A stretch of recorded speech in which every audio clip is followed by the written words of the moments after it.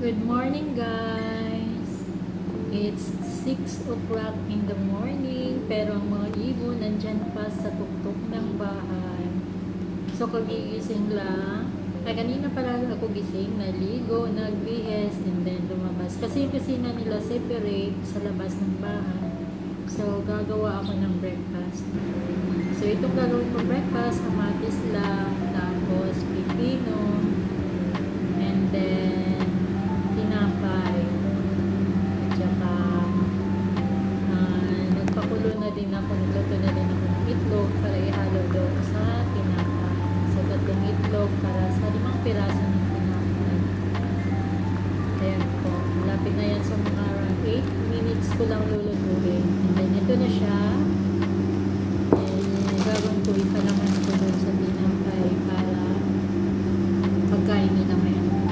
talaga ginagawa ko every morning para sa almusal nila bago sila pumasok sa eskwela at saka trabaho. Kasi siya may trabaho yan. And then, yung isang alaga ko is nasa kolehiyo na at saka yung dalaga din. Yung dalawa wala pa naman paso kaya ayan. Tatlong pirasong gagawin ko kasi lima lang naman sila. Tatlong limang pirasong gagawin ko kasi lima lang naman ganyan lang nilagay ko lang yung cheese, nilagay ko yung pipino, kamatis, at saka yung itlog. Hindi na ako naglagay ng lettuce kasi nga naubos na yung lettuce, so lang hindi nakapili. So, ganyan lang kasimple, tapos irarap ko yan siya sa sandwich wrapper. And then, ilalagay ko na doon sa taas. Ganyan yung magiging routine ko every morning. Kailangan ko gumawa pag may, ano, kung may tinapay ginagawa ko talaga sila. Kasi, ah, kumakain sila bago sila pumunta ng school. Si Amo naman, binabaon niya sa trabaho. So, ah, ganyan yung ginagawa ko every morning. Wala nang ibang, ibang gagawin, ganyan lang. Kailangan ko lang gagawin sa kanang tinapay. So, limang trabaho. Minsan may matira pa dalawa kasi yung dalawang alaga ko hindi yung kumakain ng ganyan pag morning. Tapos naman yung sa tinapay yung dalawang alaga ko, na yung bulo. So, ayun guys. Ganyan lang, ikot-ikot, tapos ilagay ko lang sa plato. Ayun yung kasi ko ginagawa ko every morning. So, ewan ko kung anong klaseng tinapay ito. Ini, ano, iniiwan ko sa gitna para makapasok yung ano, yung palaman. Lalagyan ko yung cheese and then uh, pipino, kamatis at saka yung nilagang ko na itlog. So ayun guys, ganun lang naman yung always routine every morning ko. Uh, minsan, bala sila, wala na akong pag nila kakain sila o hindi, at least gumawa ako every morning ng ganyan sa kanila.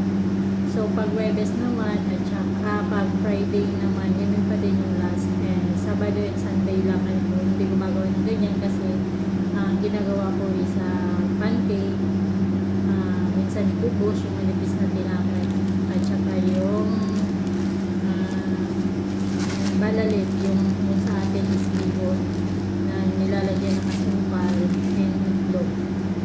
Yun ang ano ko, yun ang ginagawa ko pag Sabado at Linggo sa kanila. But another day, may pasok o may opisina, sandwich talaga every morning yung ginagawa ko. Kaya maaga ako nagigising kasi ah, gumagawa ako ng ganyan. Natatapos ako minsan mga 6.10 or 6.05. Inaakit ko na rin sa taas. Balas ka nagising sila mga around 6.30. At least natapos na ako. Kasi mag-uumpisa na ako maglinis ng sala sa baba. Kasi mga around 8. Aakit naman ako ng taas para maglinis sa lahat. Or sa buong kwarto at saka sa CR sa taas. So, ganyan lang guys. Ah, yun lang, ganyan lang. Iniwa-iwa at tapos nilagay. Pagkain yan, lamang tiyan din yan. So, ayun na guys. Ah, maraming maraming salamat po pala sa mga nanonood. And hopefully po, hindi po kayo mag-skip sa mga ads po. Ah, maraming maraming salamat po. Thank you so much for those who are subscribing and sa lahat po na hindi pa nakasubscribe, pakisubscribe po and then ah, eh, click po nyo yung bell notification for next na video ko. Actually guys, na-monetize na pala ako kahapon and thanks God. Actually, itong YouTube channel ko is year 2018 pa ito and then nag-iisip ko lang talaga gumawa ng channel is i-upload lang yung mga video ko simula nung nag-upload ako for fun kasi para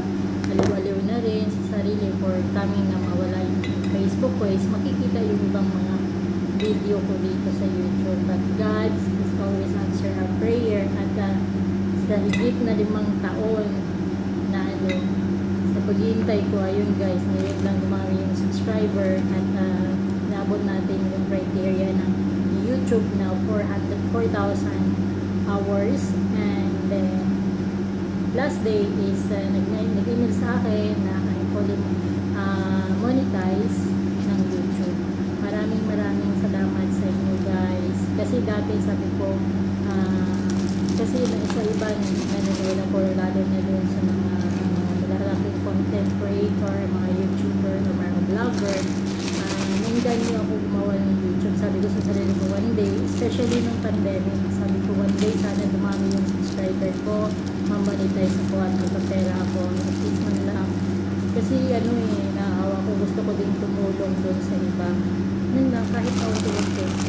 Yun, maraming maraming salamat sa inyo guys. Thank you very much. And also thank you God for monetizing my YouTube. Hinihintay ko na lang yung Google AdSense ko na mapadala sa.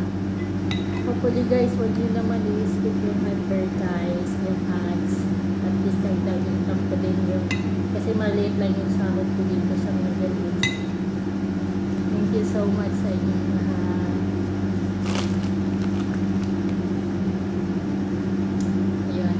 Matagal na tapos ng piraso. Kasi ano pa eh. So, ganun lang. Kakain sila. Tapos may kape naman sila doon sa taas. Kasi nagano sila. May machine naman sila o coffee maker doon sa taas. So, mas ginagawa ko ano lang talaga sa roach lang talaga ginagawa. So, ayun. Kusot-kusot. Kasi ang hirap na yung magbukas lalo ng gloves. Ayan.